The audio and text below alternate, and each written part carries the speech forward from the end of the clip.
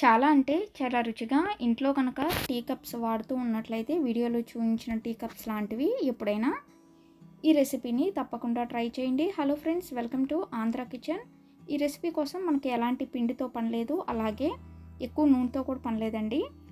ఈ రెసిపీకి ముందుగా మనం బ్రెడ్ తీసుకోవాలి. ఇక్కడ నేను ఫోర్ స్లైసెస్ బ్రెడ్ తీసుకున్నాను. తీసుకున్న బ్రెడ్ని మిక్సీ జార్లో వేసుకొని పొడిగా తయారు చేసుకోవాలి.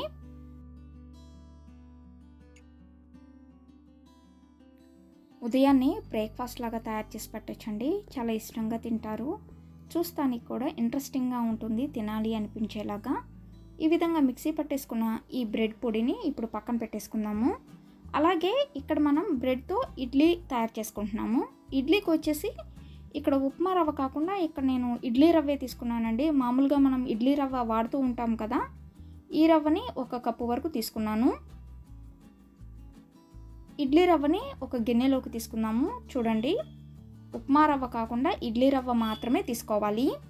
ఇలా తీసుకున్న ఇడ్లీ రవ్వలో నీళ్ళు పోసుకొని శుభ్రంగా రెండుసార్లు కడగాలి.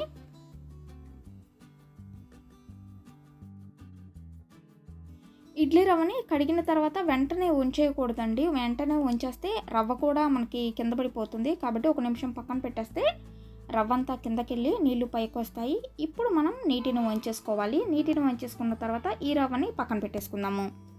ముందుగా బాండీ పెట్టేసుకొని బాండీలోకి ఒక చెంచా వరకు నూనె వేసుకోండి.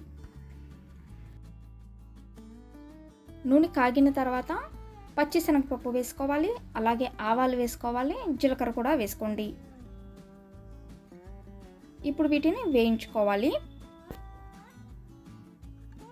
ఈ తాలింపు అదేనండి. ఈ పోపు గింజలు వేగిన తర్వాత ఇప్పుడు ఇందులోకి సన్నగా కట్ చేసుకున్న పచ్చిమిరపకాయ ముక్కలు వేసుకోండి.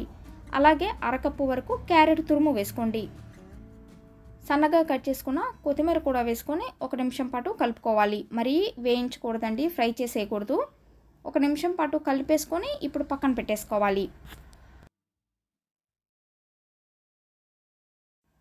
అలాగే మనం రవ్వను కూడా పక్కన పెట్టేసుకున్నాము. ఈ రవ్వను ఒకసారి చేత్తో కలుపుకోవాలి. రవ్వలో మనం నీళ్ళు పోసి నానపెట్టుకోలేదు కదండి. కాబట్టి ఈ విధంగా పొడిగా వస్తుంది. ఇప్పుడు ఇందులోకి మిక్సీ పట్టేసుకున్న బ్రెడ్ పొడి కూడా వేయాలి.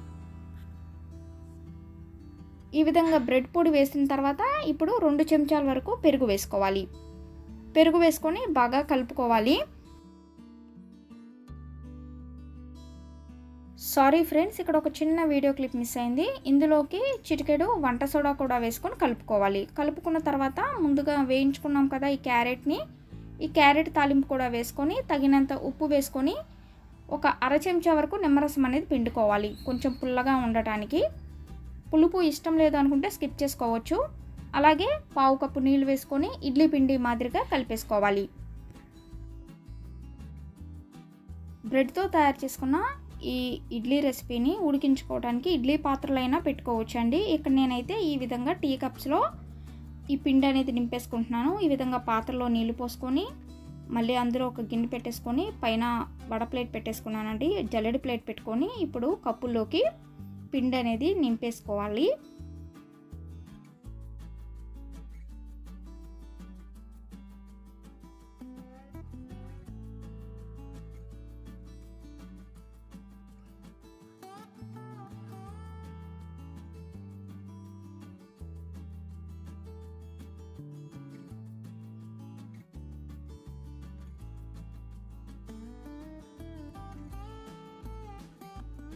ఇప్పుడు వీటిని ప్లేట్ పైన పెట్టేసుకొని వేరొక పాత్ర పైన పెట్టేసుకోవాలి. మూతలాగా కవర్ చేసుకొని ఉడికించుకోవాలి.